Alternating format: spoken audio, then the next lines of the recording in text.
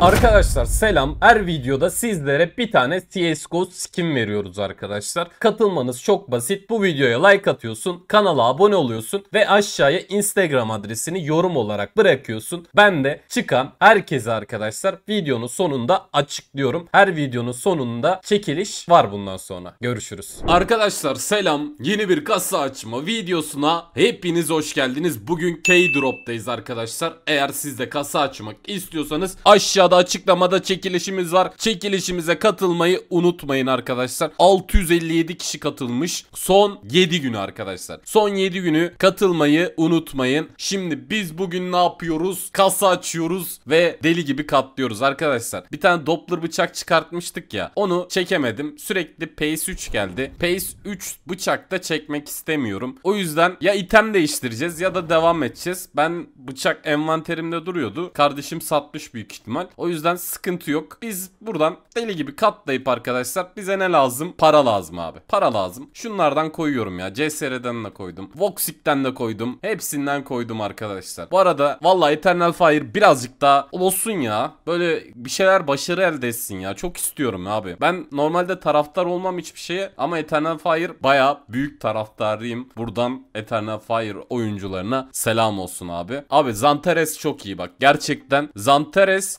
CS'de en sevdiğim oyunculardan birisi abi. Tek başına oynuyor abi. Abi bak hani mesela Voxic AWP kullanıyor. Normalde AWP pikler böyle hani tak tek mermi öldürür. Ama Zantares pikliyor yani bizim öyle bir avantajımız var. Yani o yüzden ben Zantares benim için başkadır abi. Zantares bayağı iyi. Voxic de iyi. Ama Voxic'in arkadaşlar bence yanlış oynatıyorlar Voxic'i. Hani mesela Zantares'i Zantares'in oyun tarzına göre oynatıyorlar. Ama Voxy, Voxy'in oyun tarzına göre oynatmıyorlar. O kaybettiğimiz maç var ya. Onda inanılmaz yani sinir oldum ya. Ama Voxy'ye değil abi. Adamı mesela oyun oynatan bilmiyorum yani Voxy'in kararı mı yoksa takımın kararı mı? Ya abi mid hani Mirage map'inden bahsediyorum. Her zaman mid'e smoke atıyorlar abi. Adam oradan piklemesin ya. Her el oraya gidiyor smoke geliyor sonra başka yere geçiyor. Abi direkt mesela hani düşünecek bak AWP oynayan adam yani yani birazcık AWP adamını serbest bırakacaksın abi. Vallahi serbest bırakacaksın. Hani o AWP adamı düşünecek diyecek ki bunlar A gelecek A'ya gideyim. A'da 1-2 vuracak ondan sonra gidecek mid'e. Mid'de vuracak B'ye gidecek. Yani backup oynayacak ya sürekli yer değiştirecek abi. Ama onu yapamadık ya. Valla eğer bir tane Eternal Fire yetkilisi izliyorsa yapsın ya. Ama arkadaşlar gerçekten çok güzel takım yapmışlar. Ben bayağı beğeniyorum Eternal Fire'ı. Yani eksiksiz. Sadece şu AWP işini çözmemiz lazım. Aslında çözmemiz gereken tek şey ne? Bence şey.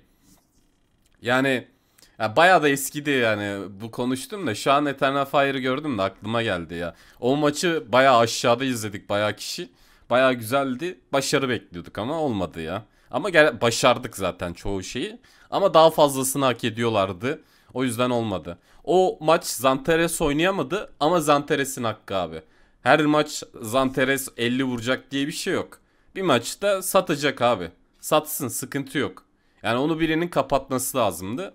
Kimse kapatamadı. Neyse ya unlucky diyelim. Ama Zantares yani böyle takımı genel olarak bayağı seviyorum. Hani şeyleri de seviyorum mesela oyuncuların karakterlerini de seviyorum. Mesela Zantares Pick diye bir tane oyunda bir pick var değil mi? Herkes o tagı almıştır. Yabancılar bile ananı satayım. Vice geldi 705 dolar güzel.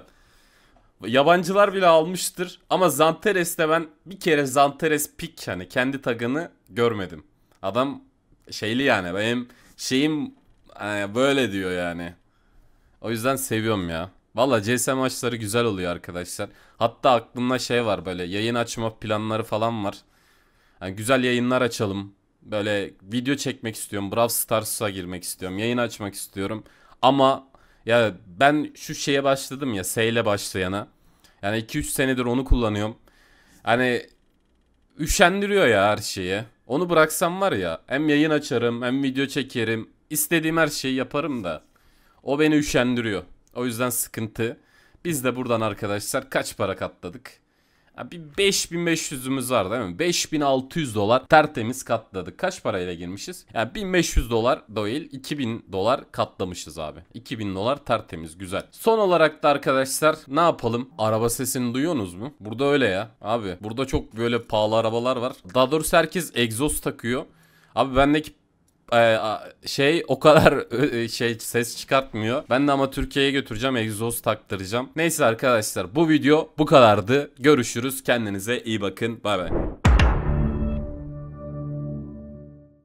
Arkadaşlar selam. Son videomuzun çekilişini editörümüz açıklıyor. Buradan izleyebilirsiniz. Kazanan arkadaş hayırlı olsun. Görüşürüz.